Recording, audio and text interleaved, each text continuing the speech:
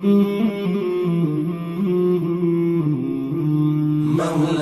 صل وسلم دائما.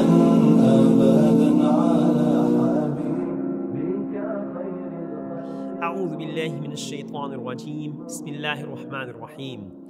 والعصر إن الإنسان لفي خسر إلا الذين آمنوا وعملوا الصالحات وتواصوا بالحق وتواصوا بالصبر. Allah subhanahu wa ta'ala swears by time. Time is an invaluable asset that Allah subhanahu wa ta'ala has given to us. It's like you know, our life is in a way a bundle of minutes. You know, and if we imagine if somebody had a, a, a, you know, a million pounds and you know he or she was squandering away you know giving a 100 pound here 300 pound here 500 pound here. What will happen? Eventually he or she will run out of that money. And it's same with time.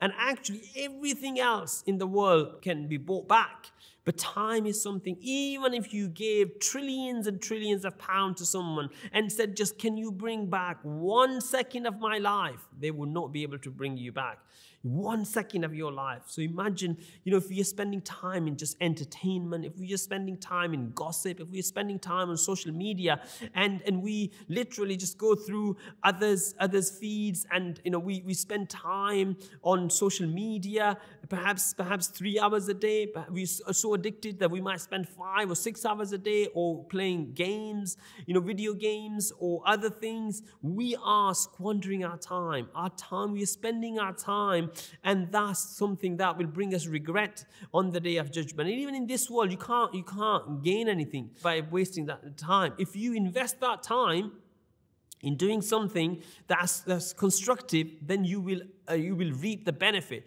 Now, I'm not here saying that we shouldn't we shouldn't do any entertainment. I'm not here saying that we shouldn't play any sports. I'm not here that, saying that you shouldn't spend uh, any time just relaxing and and winding down. But what, what I'm trying to say is that we need to bring some proportionality in, in what we do uh, because it's extremely important. Now, the Holy Quran, Allah subhanahu wa ta'ala mentions to us, He says the, the successful believers are. Uh, Allah mentions their qualities and their characteristics. And one of those qualities and characteristics is that وَالَّذِينَ هُمْ عَنِ اللَّغْوِ مُعْرِضُونَ That they will turn away when it comes to gossip. They, they just don't, they say, we haven't got time for this. And in another place, Allah says, وَالَّذِينَ لَا يَشْهَدُونَ الزُّورَ وَإِذَا مَرُّوا بِاللَّغْوِ مَرُّوا كِرَامًا That whenever they come across love things, whenever they come across things that then don't, don't um, affect them, don't relate to them, then they do not spend time in that. The Prophet of Allah says that one of the characteristics من حسن الإسلام المرء تركه ما لا يعنيه. The beauty of a believer, the beauty of the faith is that you leave that which does not concern you. You know, and what do we do? Sometimes we spend literally hours and hours talking about things that don't really affect us.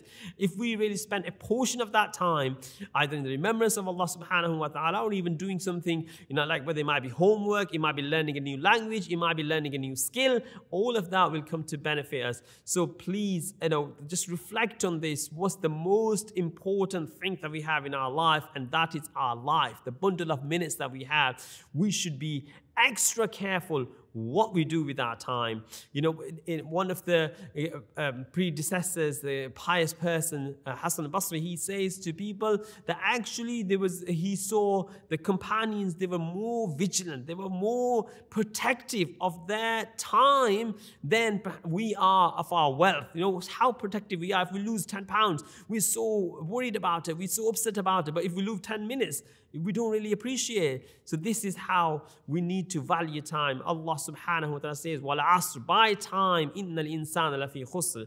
In, uh, whole of humanity is in loss except those who are uh, who believe in Allah and His Messenger sallallahu alaihi wasallam, who do good deeds, and also they enjoin patience and they ask people to be firm on the straight path and follow the haq, follow, uh, follow the truth, watawasaw be sabr and endure whatever comes their way. We pray that Allah subhanahu wa ta'ala helps us to appreciate what a great asset that He has given to us in the shape of, in the form of time.